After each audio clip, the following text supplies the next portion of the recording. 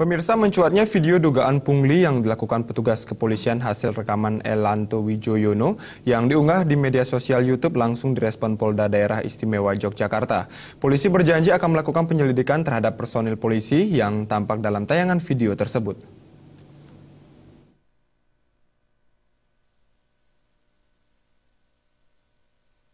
Polda Daerah Istimewa Yogyakarta melalui Kabit Humas Polda DIY AKBP Ani Pujastuti menegaskan bahwa pihaknya akan segera menindaklanjuti dugaan pungli oknum polisi sebagaimana terlihat dalam video yang diunggah Elanto Wijoyo di media sosial YouTube.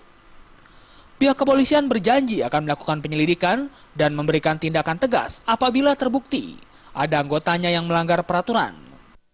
Uh, jadi saya sendiri sudah melihat video yang beredar di YouTube, tentunya uh, akan ditindaklanjuti apakah memang benar anggota kami ada kesalahan di lapangan.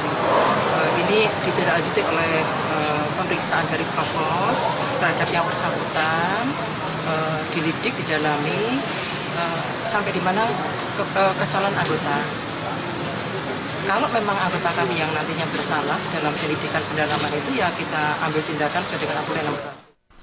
Sementara itu, Gubernur DIY Sri Sultan Hamengkubuwono ke-10 menilai tindakannya dilakukan Elanto tersebut merupakan hal yang wajar. Video tersebut merupakan wujud tindakan warga masyarakat dalam menyoroti akuntabilitas dan kinerja kepolisian. Sultan juga meminta agar kasus ini ditindaklanjuti. Itu kan ada proses, ya, saya kira nggak ada masalah. Ini kan wujud daripada akuntabilitas gak ada masalah.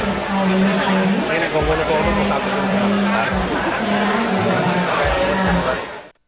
Tiga video berjudul Ada Apa di pos polisi Jokteng Wetan yang diunggah Elanto Wijoyo di YouTube ini berisi rekaman saat kernet truk menemui petugas Polantas yang sedang berjaga di Jalan Brigjen Katamso, Yogyakarta.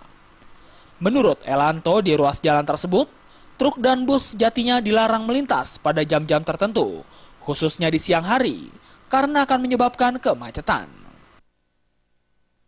Aksi itu sebagai bagian dari solidaritas saya terhadap proses kriminalisasi terhadap beberapa teman di beberapa daerah di Indonesia yang mencoba mengungkap praktek-praktek uh, koruptif aparat negara dan mencoba menyebarluaskannya melalui media sosial dan kemudian malah dikriminalisasi.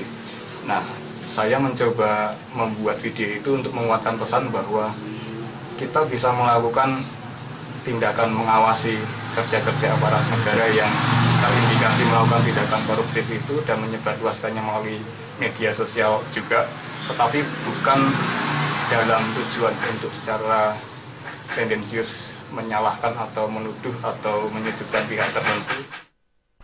Dari Yogyakarta, Fauzan Ahmad